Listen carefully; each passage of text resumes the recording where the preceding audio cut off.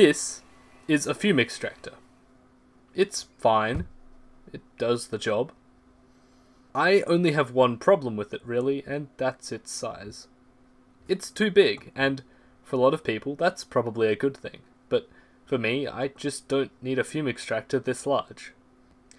I don't ever solder large items like PCBs that would benefit from having a wide coverage from a big extractor like this. The soldering I do consists of very basic circuitry work like using motors, switches, and LEDs, and this is all done within the confines of my helping hands. Because of this, I find myself annoyed by the big fume extractor. So, naturally, I went in search of a smaller fume extractor. Like, really small. Browsing an assortment of 3D printing spaces, I went in search of extractors that use these little 40mm fans, like the ones on a lot of printers.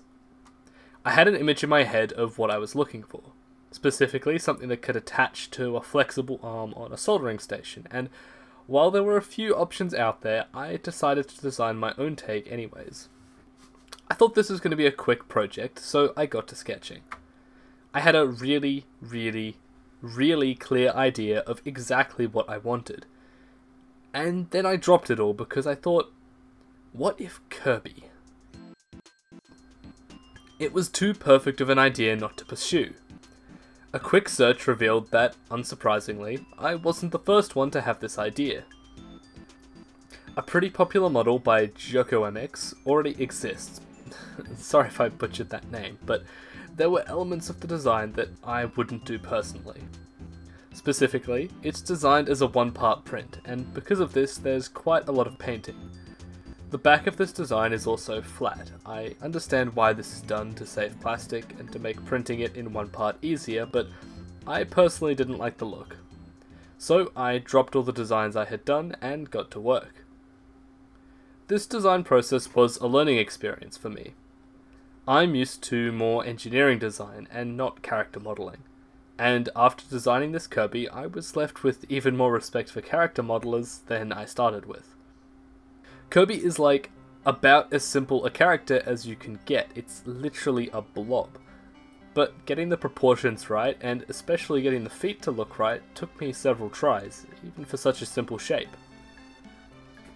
I wanted the design to be as seamless as possible, so I've used printed threads to let the main body pieces screw together without any hardware. The arms are glued on, and the feet glue on to this connector piece which then slots into the back. My design still requires a little bit of painting for the details on the eyes, but the areas are recessed to make this as easy as possible. From the front, you can't see any of the technical components, which I really like, but from behind you can see the stand and the outlet grill. Here you can also see the dovetail feature which allows Kirby to tilt up and down to better position the fan to whatever he's extracting. And uh, yeah, that's Kirby. I was going to release the video at this point, but I felt that while Kirby was good, there were some elements of the original design that I felt would be a shame to ignore.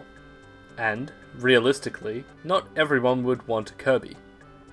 It was a simple enough design, so I went back to the original idea to make a second model fume extractor. And so that leaves us with two mini fume extractors.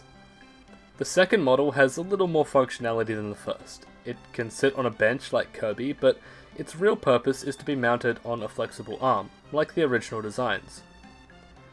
This allows it to be as out of the way as possible while still doing the job well.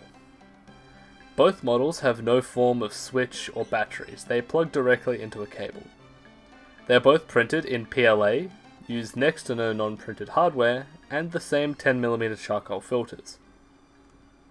On the topic of charcoal filters, I think it's worth mentioning that they are not a perfect solution. Charcoal filters remove much of the particulate from the air and move the remaining particles away from the user. This isn't a problem with my designs, it's present on all these basic extractors. Because of this, it's still advisable to always solder in a well ventilated area, even with an extractor. The filters also need to be changed. On Kirby you need to unscrew his face, and on the Model 302, the vent in the back unscrews to allow the filter to be replaced. There's a second version of this model with the mesh in the front as well. it's up to you which one you print. Almost all of the extractors I've found online have the filter in front of the fan, but I've seen a few with the filter behind the fan, and I like the way it looks more. I presume having the filter in front increases the life of the fan, but at the end of the day, it's your choice which one you make. I've found they both work well. But now I have three fume extractors, and I just don't need that many. What if... so, as a final, final afterthought, I thought, wouldn't it be funny if I could feed Kirby my garbage? That sounded better on paper. So I made a quick adapter piece for my vacuum, a custom scoop, and stuck him on my bench to eat up all the yummy little bits of print off. Is this actually useful? Uh, probably not, no. Overall, I'm happy with how the project turned out. I used Kirby for a couple of months before moving on to the more practical version, which I've used since. Both function well, one obviously is a little more useful, but it's of course up to you which you print, if either. If you want to make either version, the files are in the description.